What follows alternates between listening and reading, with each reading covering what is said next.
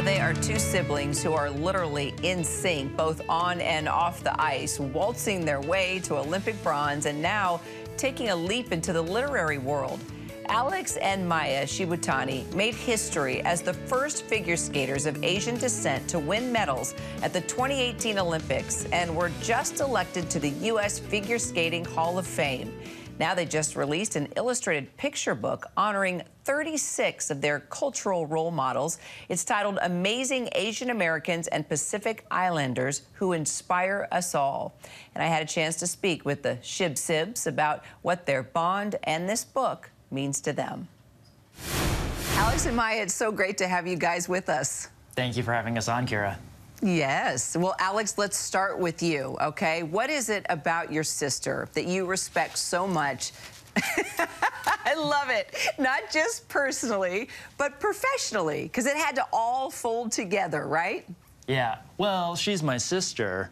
that's, and she's beautiful and smart and talented and truly an inspiration to you. Go ahead. You left nothing else for me to say. Um, we, we really work well together. Uh, I'm so lucky to be her older brother, uh, and we're, we have big goals. Uh, and so I've got the best teammate for those. Aw, all right, Maia, you know I have to ask you the same question. Alex has always been an incredible older brother. Uh, just the fact that we're even teammates and everything that we do, I think, is so special. And we're able to bring that trust that we have from skating to the projects we're working on now. And we're different people. Um, but that collaboration and the conversations that we have, I think, make all the work that we put out there even better. I mean, there has to have been a time where there's been some conflict that you've had to deal with, right? You were under a lot of pressure when you were competing, yet you're best friends, your brother and sister. So how did you get through those tough times without jeopardizing the love you have for each other? I think you mentioned it right there. There was a lot of external pressure, and so especially when we were younger, that's when we started to have some tension just because we'd both be nervous, not really, we weren't sure how to handle it, but I think that we just tried to stay grounded and realize that we were both doing something that we love so much. So also comedy helped. About an hour before a competition, it's like all of a sudden, we're fighting. And why is this happening? Oh, maybe it's because we're we're stressed out. There's pressure. We both want to do well. But having that understanding uh, and then working together and, and finding a way to laugh and enjoy it and sort of sort of reconnect to the reason why we were competing, which was to entertain, to perform, uh, to do our best. Besides each other, all right, who inspired the two of you on this skating journey? Hmm. I think that we had a lot of great role models within the skating community, but then when it comes to our relationship, we're so fortunate that our parents really taught us that we're each other's best friend, and no matter what the result is on the ice, we're going to be there for each other our entire lives. Oh, clearly. And now you guys have written this book, which, by the way, my twins love. Um, they so they were reading it. through it the past week. Yes, and and they are learning a lot about you know your culture, but also you know pretty magnificent people right throughout time that have have really been tremendous role models for you guys. And you've got past and present in there. Tell me, how did you pick the, the each individual that you wanted to profile? As you mentioned, this book highlights both historic and contemporary figures.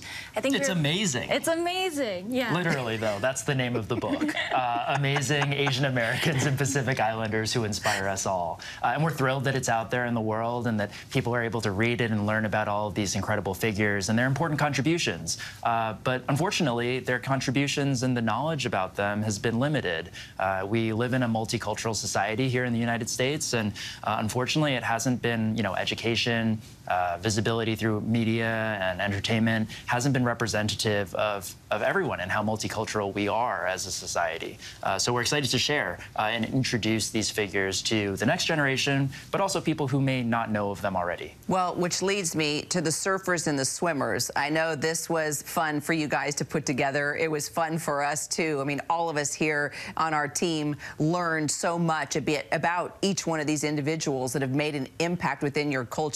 Tell me about the surfers and the swimmers. Well, now I have to adjust my posture because I feel like surfers, surfers are cool people. Um, and so to speak about surfers, I have to kind of take on that energy.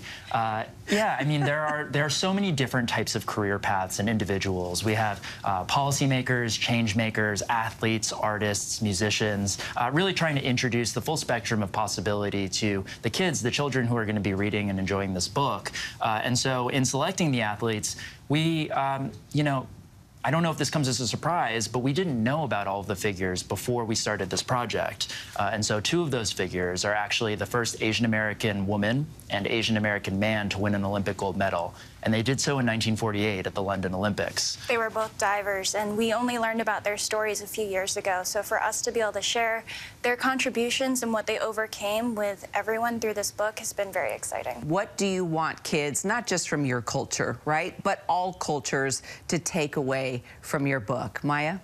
I think that we want kids to believe that anything is possible and really be inspired by these figures. But what I'm so excited about is that kids will be able to go into libraries, bookstores, and have this cover that has the word amazing on it and see all these different faces. Yeah, and uh, the reason why we're very intentional here about making a children's picture book um, across all of the potential forms of, of genre and media that this could have taken place in, uh, we wanted it to be a ch children's picture book because multi-generational storytelling creates multi-generational conversation.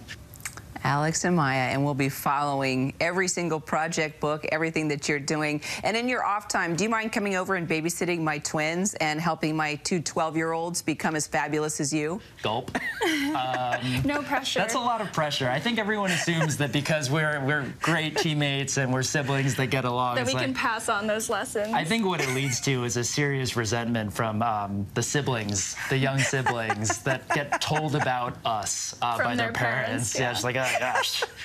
These yes, two why can't you be like Alex and Maia? No, no, no, no, no, no, We don't well, want you, that. We don't want you that. You hold Every... the standard, I must say. You know, just to emphasize the, the cover here. Amazing. That does define you both. I thank loved you. interviewing you guys. I can't wait to see what's next in your journey, Alex Maia. Thank you so much. Uh, thank, thank you, you for having us. An amazing Asian Americans and Pacific Islanders who inspire us all is available everywhere you can buy books. Hi, everyone. George Stephanopoulos here. Thanks for checking out the ABC News YouTube channel. If you'd like to get more videos, show highlights, and watch live event coverage, click on the right over here to subscribe to our channel. And don't forget to download the ABC News app for breaking news alerts. Thanks for watching.